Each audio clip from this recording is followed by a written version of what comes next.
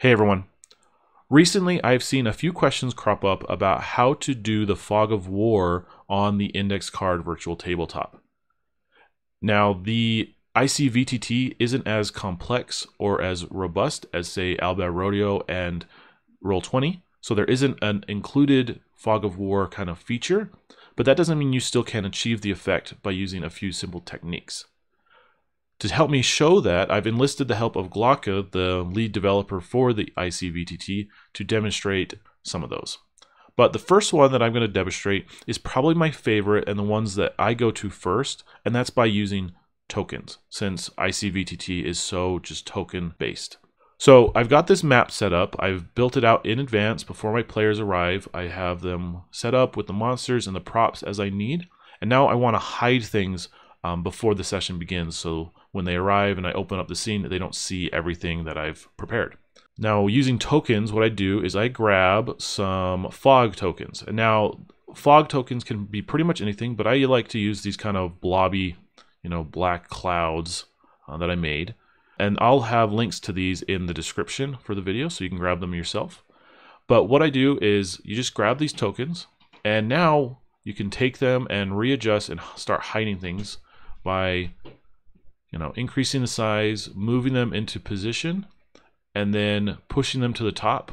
So now they cover the map and all the tokens, and then you can lock them in place to ensure that you don't move them.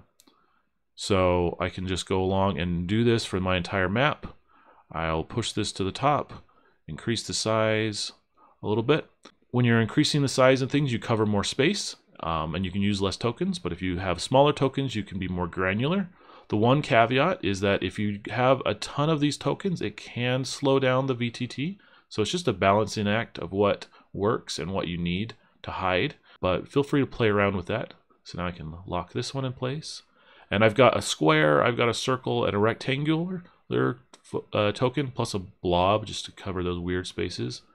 And so as I go, I'm just increasing the size, building them up, and pushing them around until I'm comfortable with what I've hidden from my players.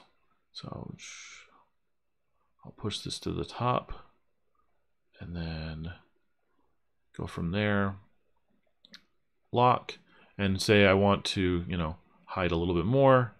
I'll copy this one down, this rectangular space, rotate it just a little bit, and maybe push it over there. And I can see I forgot to put this token under, so I'll just unlock that circle, push to the top, and then lock it again. So now I've got my general fog of war, and what I can do is as players move about the scene and as they approach kind of that hidden area, I'll just click on the token itself, unlock it, and then either move it if I want to be a little, you know, show off a little less, or I'll just delete it completely. And now they've opened up that entire scene for view and we can address anything that's happened. So now they have to face these worms before they move on to the next area. And I would just repeat this as players move, find the, the next area, unlock it delete, and there they go. Now I'm going to pass this over to Glocke so he can demonstrate his method, which is using the webcam feature. Hey, it's Glocke. I'd like to add another option to the portfolio of how to use Fog of War in ICVTT. When you use physical terrain in your online game, ICVTT provides you with a little feature called Webcam Snapshot. Basically, it allows you to take a photo of your webcam and use it as a scene background. The feature can be accessed as a GM using the scenes draw in your game. Click the webcam icon which says Preview Webcam. Your browser will most likely ask you to confirm the webcam choice. If you're using multiple webcams, here's the place to select the right one. You will see a live feed from your camera. Optionally, you can click to enlarge. That's useful for manual adjusting focus and angle. Set up your terrain and click Take Snapshot. After that you'll see the snapshot preview before uploading it. The scene's background is automatically replaced. Now you've got your terrain all in place, but how does the fog of war actually come into play? Imagine that scene to be in a dark cave where player characters can only see the near area. As they move around, more terrain pieces should be revealed and maybe some pieces should disappear. You can adjust your terrain by hand and take another snapshot. Here we can see the heroes delve deeper into the cave and more terrain pieces appear. Make sure your camera angle stays the same. Personally, I use two webcams for online play to avoid switching around since there's some technical limitations and issues involved when you're running that same webcam through something else like, let's say, Discord. And at some point, the heroes have probably delved so deep into the dungeon that they cannot see the entrance anymore. Just grab the entrance, take it away, take a new snapshot, and you're done. That's it, basically. So, Kane, I think you've got a third option, right? Excellent. Thanks, Glocke. And you're right, I do have a third option for you. And this is probably one that I would use if I were trying to do something a little bit more complex.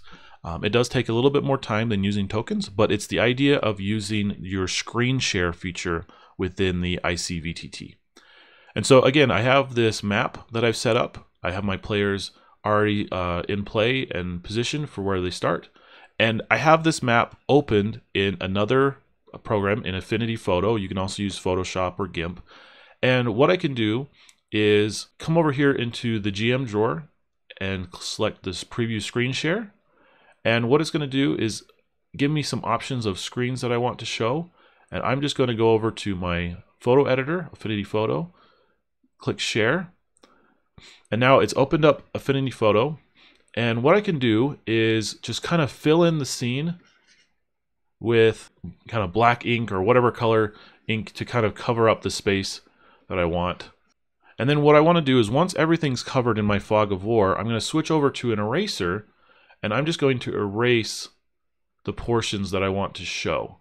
So I'll erase this first room to give them a sense of here's some doors that they could go into and go from there. If there is something that I did too much of, I didn't want to show that because the door was was closed. So I would just switch back to my brush and color that back in. And then once I'm happy with my kind of view and the fog of war that I have, I'll just switch back over to the VTT and you can see that they have this live stream preview as well as the snapshot. So I can take this snapshot and it'll give me a picture of that screen and I'll be able to apply it to the background. Just like with the webcam method, this kind of gives me an opportunity to replace the current background with a new background and then I have my fog of war. So now my players can move around and explore and eventually they might open up into a new space. So again, I'm going to go back to my screen share.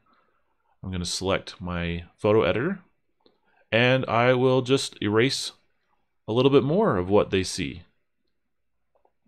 So they'll be able to kind of see down to here, get a view, and maybe they'll be able to come up to here and they'll see the rest of this room.